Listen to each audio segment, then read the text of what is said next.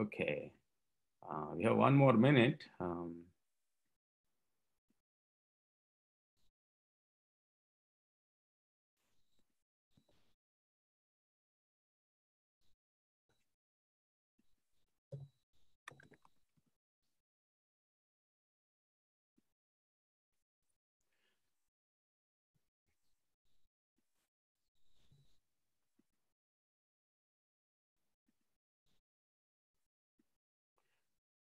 All right. Uh, welcome everyone to session 3A of STOC 2020. Uh, it's a session on parallel and distributed algorithms and there's a series of uh, uh four fantastic results. And uh, due to the absence of one of the speakers at this point, we are going to uh, go a little bit out of the order and start with the second talk. And just a reminder to everyone that the talk is, uh, each talk slot is for 10 minutes with five minutes for the presentation uh, with no questions and five minutes for the questions. And you can ask a question by typing in the uh, question and answer box, chat box, or by raising your hand. So uh, let's begin with uh, the talk on uh, directed hop sets by, uh, by Nairen Cao, Jeremy Fineman, and Katina Russell, and Katina will present. Katina, share your screen and start. Okay, thank you. Um, so again, my name is Katina Russell, and I'll be talking about efficient construction of directed hop sets and parallel approximate shortest paths. And this is joint work with Nairen Cao and Jeremy Fineman. And so first I'll talk a little bit about what hop sets are, so give just a brief definition and example, and then I'll explain our result. So um, a hop set is for a directed graph. Uh, it is a set of weighted edges such that for each pair of nodes UV, there's a path P that goes from U to V that contains at most H hops, and the distance of P is at most a one plus epsilon approximation of the distance from U to V in the original graph, and no shorter than the distance from U to V in the original graph. And so we consider H to be the hop bound, where H was again the limit on the number of hops on the path P. And the size of the hop set is the number of edges added. So in this little example, um, we've added two edges that are in red. And so the size is two and the hop bound is three because you can get from any node to any other node in three hops while still preserving the distance. So now I'll give an example of an inexact hop set. So here we have an unweighted graph and in the graph, the path from H to L is four hops. And then we construct our hop set. So these are these weighted edges that are shown in red, where the weight of each edge is just next to the edge. And so now the path from H to L is just three hops by going from H to I to A to L. But the distance has increased to five. So that's where we get this distance approximation. And so in this example, the hop bound is three because you can get from one node to any other node in the graph while still preserving the distance within one plus epsilon. And the hop set size is four because we've added four edges. So the other part of our result was parallel approximate shortest paths. And so for any low work parallel shortest path algorithm, the amount of work depends highly on the number of hops on the shortest paths. And so through hop sets, we're able to construct a graph where the number of hops on the shortest path is limited. So we can use our parallel algorithm for constructing a hop set to then solve parallel approximate shortest paths. And so once we have the hop set, um, this is not new, Klein and Subramanian did this in 1997. And in the video, I showed a sequential algorithm for constructing a hop set for an unweighted graph. But in the paper, we have a parallel algorithm that also handles the directed case. Okay, so now I'll get into some previous results for HOPSETs as well as our result. So for directed graphs, there already exists an exact HOPSET with linear size and root n hop bound, but the sequential running time is pretty high and it's m times root n. And this is due to Ullman and Yannakakis in 91 and Subramanian and Klein in 97. And so our result is we're able to reduce the work by a lot, getting nearly linear. And so our hop set is an approximate hop set with nearly linear size, hop bound of n to one half plus a little of one, and our runtime is nearly linear. And so for undirected graphs, a lot more progress has been made and a lot has been known for a while. And so they're able to get much better results, including um, linear size hop set with subpolynomial hop bound.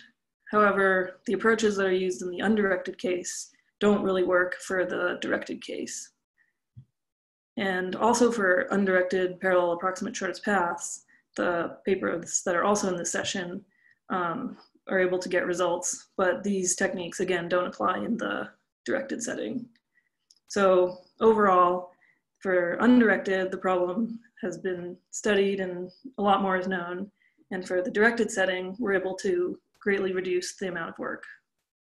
And that's all. Thank you.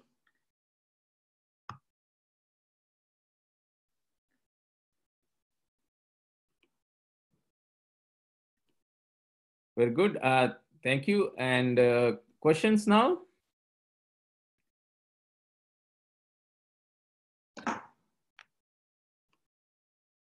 So in that case, uh, let me ask, uh, uh, yeah, so there's a question one of the questions is from Hang.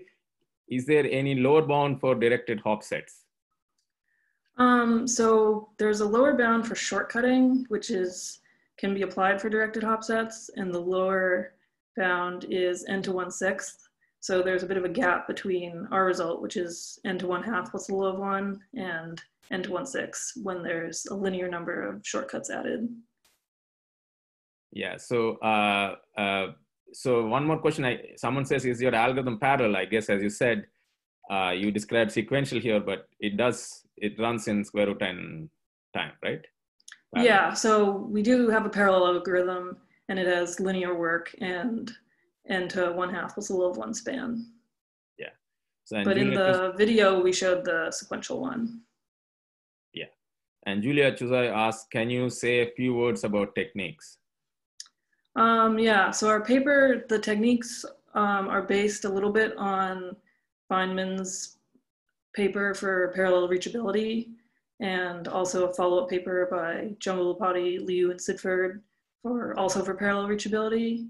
And so basically we have to sample um, a bunch of uh, vertices to search the graph and then use a recursive partition and then recurse on the graph to uh, make progress. Okay. Uh, uh, is there any, uh, okay, Thatchaphol asked the question, uh, are there any parallel algorithms for directed, I guess, shortest paths, not based on hop sets? Yeah, so for parallel approximate shortest paths, the Ullman and Yannakakis and the Subramanian and Klein one are hop sets, but there's Spencer's algorithm, which does directed um, parallel shortest paths, and they don't use hop sets. I see. Uh, can you say what they use, or uh, if you remember? Um, they do a sort of path doubling technique. Okay. And their work, though, for having root n span, so they have a trade off between work and span. And so when they have root n span, their work is something like m plus n squared. So it's much higher. I see. And and your algorithm is randomized, I assume, because you yes. sample. Uh, yes. Can you say something about what's known in terms of deterministic uh, algorithms? Uh, the previous algorithms are also randomized because they use a sampling technique. Okay, so in terms of, uh, I mean, is the, for example, path doubling uh, algorithm also based on randomization, or is that uh, that is n square work, I guess, but that is um, also randomized? Uh, that one, I'm not sure. I forget what they do exactly. Okay. Uh, any other questions for the attendee from the attendees?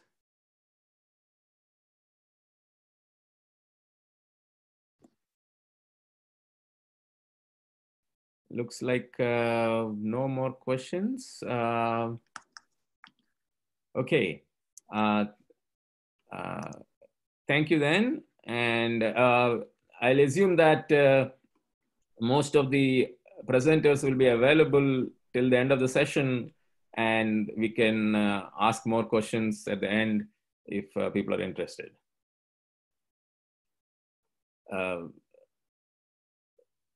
Uh, I, I, guess there's one more question, but we'll take it offline.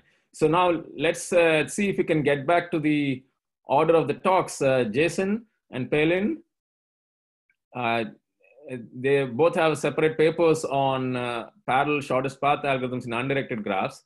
Jason, uh, if you can share your screen.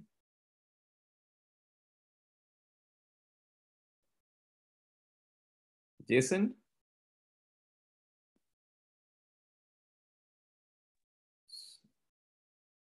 Please, can you hear Hello? me now?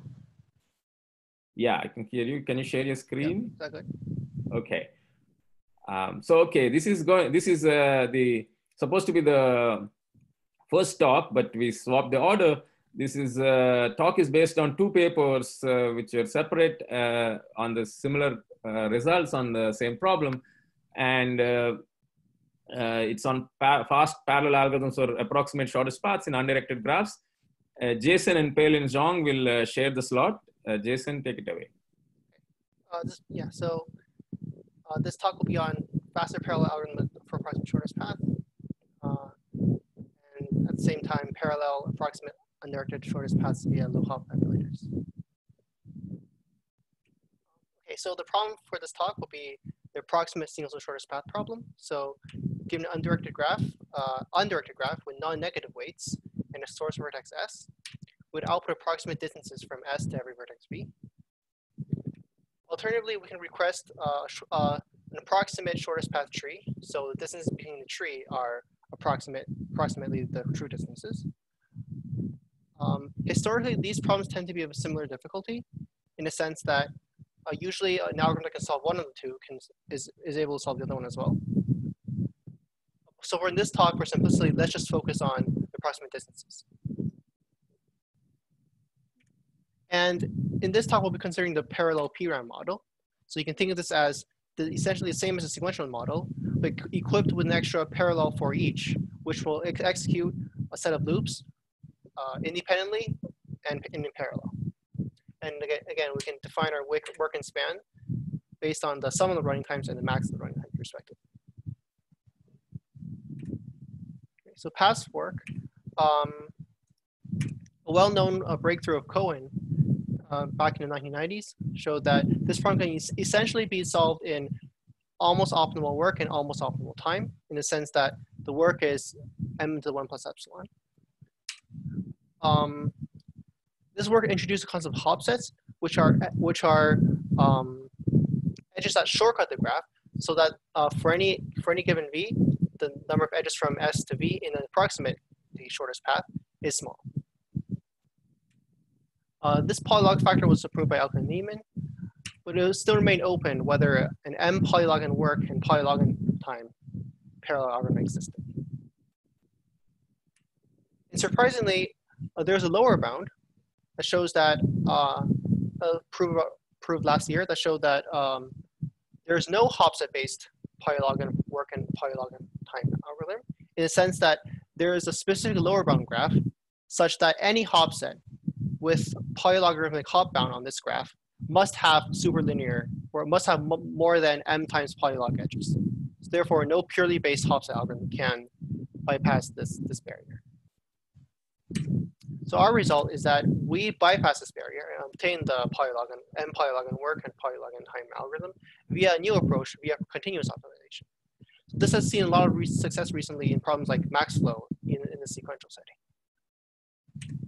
So similar to MaxFlow, we study a continuous relaxation of the problem. In this case, this is the minimum transshipment problem. And concurrently, um, Andoni, Stein, and Zhong have obtained a similar result with similar techniques. In particular, in particular they also uh, relax to the minimum transshipment problem. So what is the minimum transshipment problem? Uh, so, so it's also known as uncapacitated min cost flow. You, you should really think of it as a more of a shortest path problem than a flow problem because of the costs. So the input is, is a graph with, you can think of the graph with an, in matrix notation, a vertex edge incidence matrix and demand vector that's that whose demand sum to zero. And the constraints in matrix notation will be a flow vector on the edges that satisfy the, the flow constraints. So this so far is same as max flow. The objective here is to minimize the L1 norm when we when weighted by the costs. The L1 norm in the flow when weighted by the costs. So this is similar to max flow in the sense that different from max flow in the sense that uh, we're, we're considering the L1 norm of the flow, whereas max whereas max flow considers L infinity. So this, this problem turns out to be reducible. Uh, so why is this problem relevant? Well, it's known how to reduce approximate SSSP to polylog many calls of approximate transshipment. Uh, this was first shown in by Becker, Forster, Karrenbauer, and Lenzen, but but uh, in a different model. So we have to do some extra work to to adapt their techniques to work in a parallel model. But this shows that it's sufficient to consider minimum transshipment. Again, this, this reduction is not obvious because transshipment is a more of like an average kind of guarantee. Uh, approximate transshipment is more of an average guarantee, whereas approximate shortest path, we need the approximate distance for all has to be. So to, to solve transshipment, we follow Sherman's framework from his original breakthrough paper on max flow. So we reduce 1 plus epsilon approximate transshipment to what we call a polylog approximate L1 oblivious routing scheme. So Sherman reduces uh, 1 plus epsilon approximate max flow to a polylog approximate or approximate uh, just a L infinity oblivious routing or also known as just a traditional oblivious routing scheme. So know that um, so know that oblivious routing is actually a harder problem than transshipment or max flow. But the, here the benefit is that we only need a polylog approximate and, and that is enough to boost the approximation to a 1 plus epsilon approximate in the slightly easier problem, transshipment or max flow.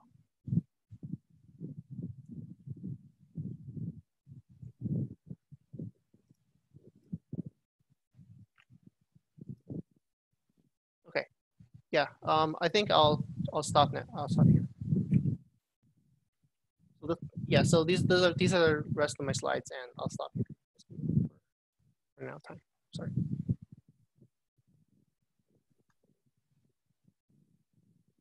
So Peilin, you want to take over? Yeah, I, I, I want to share. Um, I want to uh, roughly uh, present my, my result. I will be very short.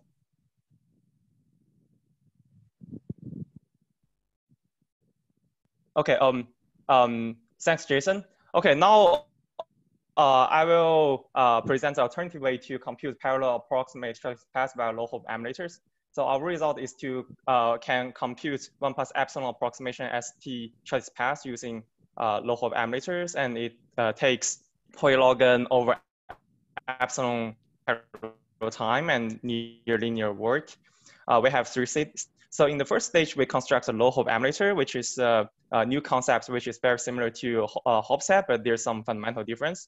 And in the second stage, we use continuous optimization technique to solve a more general problem, which is the uh, min uncompatible min cost flow as mentioned as, uh, by Jason. Actually, we'll use the first stage low hop emulator to compute polylog and approximate shortest path to construct a preconditioner. For the second stage, uh, continuous optimization. And in the second stage, as mentioned by Jason, we use Sher Sherman's framework to solve uncapacitated min cost flow up to one plus epsilon approximation. In the third stage, we show how to uh, recover a path from the flow. Uh, there's a high-level picture of our algorithm. So firstly, we develop hop emulator and we use it to compute a single source shortest path up to polylog approximation. And then by combining with Bourgain embedding, we can embed the original graph to the L1 metric. And then we develop a, a compressible preconditioner. And by combining with uh, L1 embedding, we show how to compute uncapacitated min cost flow up to one plus epsilon approximation. Uh, and then we use uh, we develop a, a, recursive path construction technique, uh, and then we show how to compute a 1 plus epsilon uh, ST shortest path. Uh, the most important ingredient in our algorithm is low hop emulator. So what is low hop emulator? Low hop emulator of a graph G is a sparse graph G prime, such that the distance in G prime is a good approximation of the distance in, in the original graph G. Uh, in, in addition, there's a very crucial property of our low hop emulator. So the hop diameter of the uh, low hop emulator is very low. So for any exact shortest path in this uh, low hop emulator, it only contains small number of hops. Uh, here's the main result for our low hop emulator. We show for any k which is larger than one, uh, at least one, uh, any graph G, there's a low hop emulator G prime such that the size of G prime is at most n to the one plus one over k, and the distance in G prime is a poly-k approximation of the distance in G. And the hop diameter is log k. And we can compute in, in, in parallel time polylog n, and the total work is the number of edges plus n to the one plus two over k. In particular, if we choose k to be log n, then this g prime has size near linear, and the uh, distance g prime is a polylog n approximation of the original distance, and the hop diameter is log log n. So we can run Bellman-Ford in log log n number runs to compute any uh, shortest path uh, in, uh, in, this, uh, in this graph g prime. And we can compute this g prime in parallel time polylog n, the work is linear, uh, near linear. So this already gives a polylog n approximate single source shortest path, and we can compute it in polylog n parallel time and near linear work. Uh, okay, thank you. So uh, the last slide is just the comparison between low hop emulator and Hop set. Thank you. Yeah, thank you, Peilin. I think it's good time to stop. We kind of uh, used up uh, the, the, the time. So if there are a couple of quick questions we can answer now, uh, and otherwise we'll take most of the questions for this talk towards the end, if that's okay. Okay. Yeah. So uh, quick questions from the audience. So let's see. Uh, uh, um, I think there's a, uh, there's a hope. So the things that if we can uh, if we can improve the approximation of the low hop emulator, and then maybe we can uh, decrease the number of logs in the final algorithm. Um, so uh, the edges. Um, maybe I'll read the question. Uh, Vijay is asking, how do the edges in the G prime, I guess the emulator relate to the edges in G? Okay, so uh, so the, the edges in G prime uh, may not be the original edges in G. So we use the uh, edges in G. So we, we use the original graph to compute the new edges in G prime but they uh, but uh, but we do not need the edges in G to be in graph G prime. So it's not a subgraph necessarily, right? The, the G prime edges could be different edges. Right, right, right, right, right. The G prime can be different edges. Yeah, it's an emulator. It's not a spanner. Yeah. Okay, I think we'll stop there and take questions uh, for uh, uh, Jason and Peilin at the end of the session, if that's okay. Uh, okay. And um, we'll go to the next talk uh, on uh, uh, by Vašek and Mohsen on uh, distributed algorithms, uh, Uh, deterministic distributed algorithms. Uh, very nice result, uh, very elegant technique. Um, can uh, Vašek start his slides, please? actually, I cannot. So first, oh, I, I Peilin, you may have sharing. Yeah. Oh, yes. Okay. Great. Can you see my slides? Yes. Yeah. Good. So hello, Vašek Rozhoň speaking, and this is joint work with Mohsen Ghaffari. And let me, let me start right away by giving you one sentence summary of our work. So we proved that the distributed algorithms in the very classical local model of distributed computing do not need randomness for efficiency. So, so to make sense of this statement, we first need to define this local model of distributed computing. So this is a very classical model in which we study distributed graph algorithms. And in this model, we start with a huge undirected graph on n nodes. And in each node, there is one computer sitting. And these computers, they are communicating in synchronous rounds. And in each round, any computer can send any message to any of its neighbors. We do not bound the size of these messages. And we also do not bound the computation that actually happens in these computers. So initially, these nodes know only n, the number of vertices, and in case of deterministic algorithms, also their unique identifier. And in the end, each node should know its part of output. So for example, if we try to solve the maximal independent set problem, then in the end, every node should know whether it is part of that maximal independent set or not. And the measure of time complexity here is very simple. It is just the number of rounds these nodes need to communicate until they get the output. So this is indeed a very simple model. And maximal independent set is actually a very nice example on which I can demonstrate a more general phenomenon. And this is a huge gap in our understanding of deterministic and randomized algorithms. So for a long time, we know a beautiful randomized algorithm of Luby for maximal independent set that runs in O of log n rounds. But the best known deterministic algorithms had much larger complexity. And for the case of maximal independent set, this is a famous question of Linial, whether there is polylog n round deterministic algorithm for this problem. So we answer this question affirmatively. And if you look at our talk, then at the end of it, you will know a simple deterministic polylog n round algorithm for maximal independent set. And it turns out that this in turn leads to even faster randomized algorithms for maximal independent set. But now let me switch gears a bit and let me tell you what is our actual technical contribution. So our contribution is a quite simple deterministic polylog n round local algorithm for a problem that's called network decomposition. And network decomposition is quite a general problem. So as a quick application of this theorem, we are getting the deterministic algorithm for maximal independent set. But actually, we are getting much more.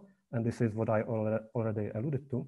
So if we put it in the framework of Ghaffari, Harris, and Kuhn, then we are actually getting that all reasonable randomized local algorithms can be de-randomized with polylog n slowdown. And there are more corollaries of this theorem. And these applications are not only in the local model of distributed computing, but also in the related CONGEST model or even the MPC model of distributed computing. But now let me stop talking about applications and let me finish by telling you what is actually this network decomposition problem. So network decomposition is really just a clustering problem. So somehow this is the picture that you should have in mind. And here I restated our theorem, and it is saying that there is a deterministic polylog n round local algorithm for network decomposition with C equal polylog colors and D equal polylog diameter. And this is just saying that we have a deterministic algorithm that will cluster the vertices of the graph into clusters such that each of these clusters will have small diameter at most d, which is polylog n.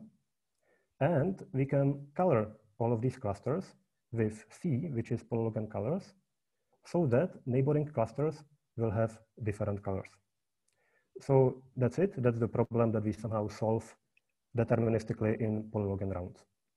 And now just the very last thing that I will tell you is why you should believe me that this problem is somehow interesting and why you should believe me that we can get easily these, these applications out of it.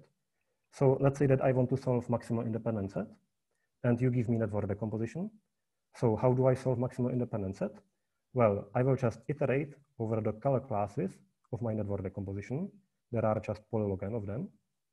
And then when I fix one color class, for example, the green class, then for each cluster, what I do is that each node of it will collect the whole topology of that cluster and also kind of its immediate neighborhood. And after every node collected the whole topology, I can say, for example, that the node with smallest ID will just compute the maximal independent set for this whole cluster, and it will send this solution to all of the other nodes in that cluster. And actually that's it. So if I give you network decomposition, then you automatically get a polylog round algorithm, let's say for maximal independent set. But as you see, this approach is really much more general. And this is why we are also getting this, these general applications out of our result. So I tried to compress a lot of information in a few minutes. So let me just finish by telling you somehow the take home message. So our te technical contribution is a simple deterministic polylog n round local algorithm for a problem called network decomposition. And as an application of this algorithm, we are getting that distributed algorithms in this local model of computing do not need randomness for efficiency. So that's it for me, and I will be happy to answer your questions. Thank you. A very nice result. Let's uh, see if there are any questions.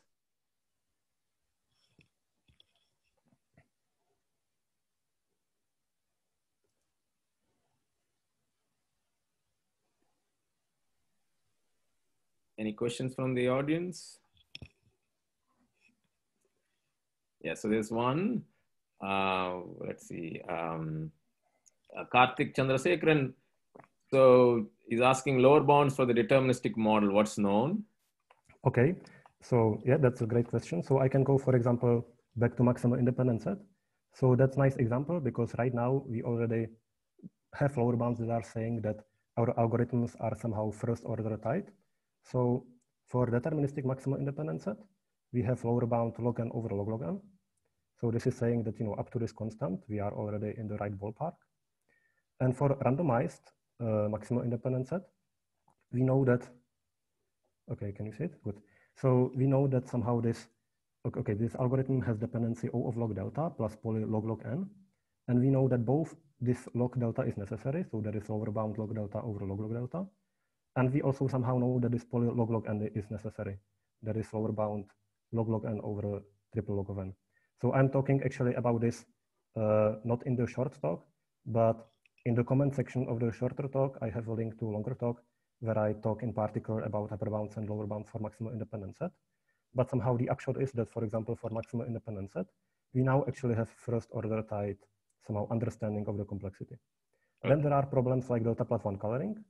And there we have somehow similar upper bounds, but all the lower bounds that we have are log star of n. So for some problems, there are, there are still kind of big gaps in our understanding. Thank you. A quick uh, question. Uh, uh, was the network decomposition problem known before by? Oh, okay, again, that's a great question. So I, I was here very quick, so I was not talking about the previous work on network decomposition, but it is actually, again, very classical problem. So for example, here, this 2 to square root of log n, upper bound for maximum independent set by Panconesi and Srinivasan, is actually algorithm for network decomposition. So what they did is that they somehow still the best best known way how we can solve deterministically maximal independent set is to construct network decomposition, and then we are automatically done. So Panconesi and Srinivasan had 2 to square root of log n uh, algorithm for network decomposition. Uh, network decomposition was defined in the seminal work of Awerbuch et al., where they gave actually almost the same round complexity algorithm. Thank you, Vašek. I think uh, in the interest of uh, getting to the last talk on time, I will uh, suggest that we um, postpone the rest of the questions to the uh, to the end. Mm-hmm. So all of you whose questions didn't get answered, please hang on, and uh, Vašek should hopefully be there uh, for, for the, the, end of the session. Okay, um, can you stop sharing your screen? And uh, the last talk in the session is on uh, walking randomly, massively, and efficiently. And uh, Slobodan Mitrovic will give the talk. Yes, take it away, Slobodan. Uh, thank you for thank you for introduction. Uh, my name is Slobodan Mitrovic, and this is a joint work with Jakub Łącki, Krzysztof Onak, and Piotr Sankowski. In our work, we ask the question how to compute random walks, and in particular, how to compute random walks in a small number of parallel steps. Um, we show in the context of MPC, uh, we show how to compute uh, one random walk per each vertex in the graph, all the walks simultaneously and being independent, uh, and walks are of length L. Uh, in log L rounds, uh, we, give, we give an approach that does this in log L rounds for undirected graphs. For directed graphs, uh, it requires log square L many rounds. And we also show how to approximate page rank in directed graphs as well in log log n square plus log square 1 over epsilon many rounds. Where epsilon is the teleportation probability.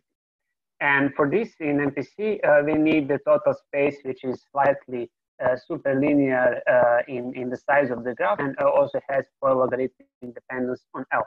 Uh, just to contrast this to prior work, uh, this essentially gives nearly exponential improvement. Um, well, in the context of theorem, um, uh, essentially we, we show by using uh, by using the same techniques, uh, we show that uh, uh, there is an RNC uh, PRAM algorithm. Uh, such such results for PageRank were, more, were known before. But we, we show that um, one can get RNC algorithm for directed random as well. Um, now for the rest of the talk, I will, um, I will spend time um, going briefly over, over the techniques, over the main steps of our approach. Uh, so in general, in our approach, we start from random walks in André graphs. Then uh, we, from there, we, go, we don't go directly to random walks in directed graphs, but rather we go to computing page rank in directed graphs. And now using page rank as a primitive, we go back to computation of random walks, but this time in directed graphs as well. Okay, so uh, the first um, kind of idea um, or observation is that if you are given a station distribution of random walks that you want to compute, it could be regular, like standard random walks in graphs, it could be a station distribution uh, of, of uh, PageRank walks. If you're given pi, uh, then uh, in log L rounds, uh, you can compute uh, you can compute these walks, but the space that you that you need is inversely proportional to the minimum entry of the of this station distribution layer. Okay, uh, so if you look at uh, at, at, some um, stand, uh, at some um, non-random walks, like standard random walk in undirected graphs, we know the station distribution is lower bounded by one over two n, which immediately implies that the memory requirement for undirected walks would be very nice. Now, when it comes to uh, directed graphs, then the situation is much worse in terms of lower bounds on station distribution, and if you plug in, uh, if you use this approach directly, it will require exponential running time. Now for PageRank, again, we get uh, this nice property that uh, station distribution is lower bounded by, uh, by something reasonable.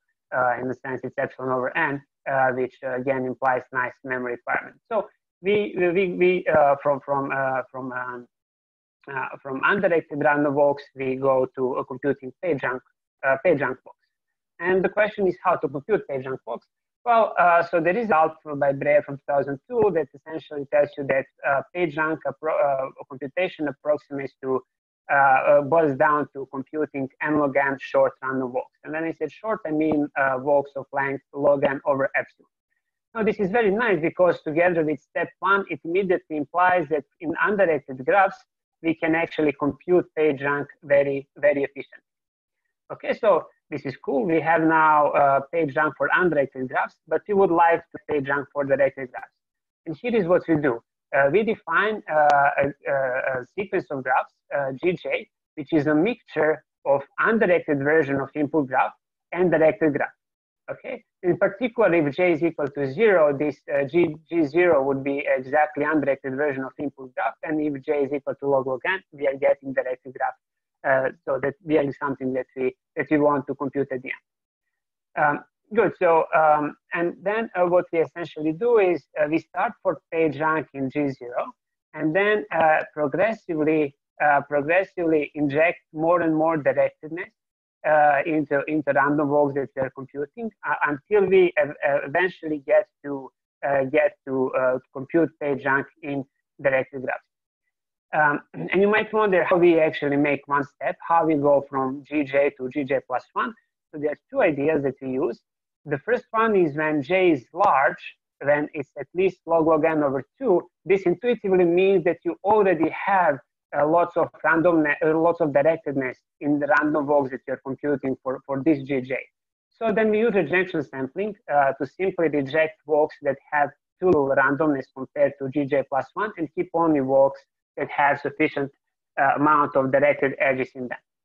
Uh, but now when j is very, very small, think of j is equal to zero, then this approach doesn't work because uh, all what you would have is essentially undirected version of the graph. So in that case, and it is very instructive to think, uh, to think about this example to the right, so in that case, we would be hoping that actually if we, do, if we take a random undirected edge, that with some uh, with some uh, non-negligible probability is going to be uh, directed outgoing edge. And in this example to the right, it's clearly not the case.